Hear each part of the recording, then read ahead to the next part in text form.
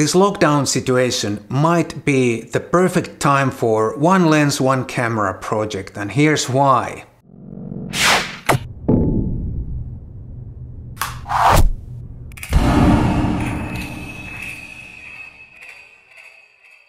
Hi there, my name is Matti Sulanto. I'm a photographer and a Lumix ambassador from Helsinki, Finland. Just in case you don't know what one lens, one camera project or concept is, uh, you pick one one lens and one camera and shoot everything on that combination for a certain amount of time. I once did it for 9 months. I was only using one prime lens and one camera for 9 months and shot everything on that combination. It was a lot of fun. There are a lot of benefits in that and a lot of potential to become a better photographer by only using one lens and one camera.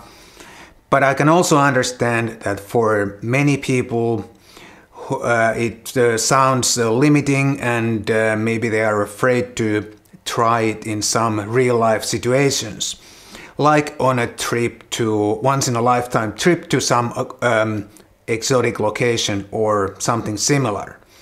But now that you are stuck at home, or if you're not stuck at home, you're probably stuck at very uh, limited uh, surroundings, your familiar surroundings. You can't go very far from home, probably and unfortunately. So now's a good time to try one lens, one camera project because there's nothing much to lose because you are in your familiar surroundings all the time and um, you're not gonna miss any unique photo opportunities uh, like you would on a trip or on a travel to some exotic location for example. There are many many benefits of using just one lens and one camera. I have a whole video where I'm explaining the, all the benefits and I'll put a link to that at the end of this video. But um, in short, the benefits are simplicity. You never have to think about which lens to put on your camera because you only have one lens. And you also learn that one lens 110% during this um, experiment if you if you use it uh, for long enough. You know exactly what you're gonna get at every aperture, every focusing distance, every kind of lighting. So you know pretty much what you get even before you lift your camera to your eye. It's a really, really big benefit, believe me. And uh, you also learn to somehow see things differently when you only have this one lens. But check my video for more information or more explanations why this is a good thing. But now that you're probably and unfortunately stuck at home, now is a good time to, to try this pick your favorite lens and start uh, exploring or experimenting at home. Observe how the light changes inside of uh, your home or apartment and um, shoot uh, details and uh, document your everyday life using only one prime lens and one camera. And because you are at home, you can't miss any really unique opportunities, so, those, so there's no need to kind of uh, be afraid of that. And I'm gonna show you now some examples that I've shot here in my small apartment in Helsinki. This is not a cohesive body of work and not even shot on the same lens. I've used either 25mm micro four thirds lens or 50mm full frame lens. But I'm showing you these pictures to give you some ideas what you can do just in case you don't know where to start.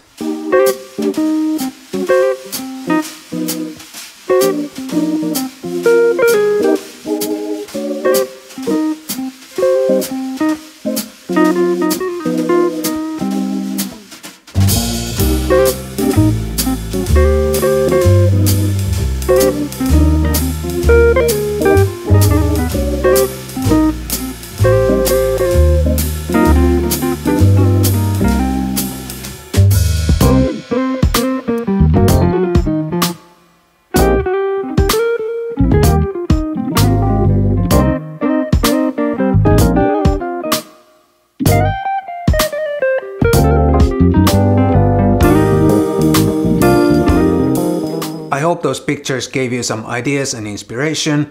And now let's talk about the suitable gear for a moment. My recommendation for the lens is something moderately wide or standard and um, for micro four thirds that would mean uh, between 14 and uh, 25 millimeters and on a full frame between 28 and 50 millimeters.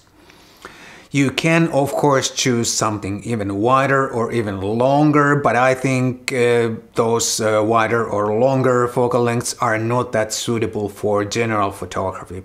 But then again, it's just my opinion.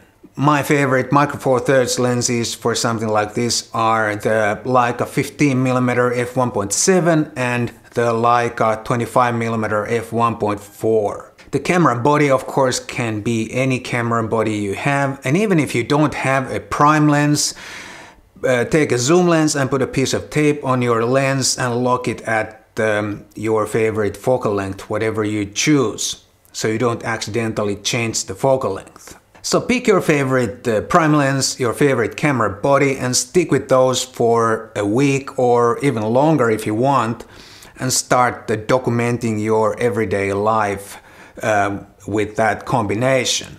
And keep an open mind.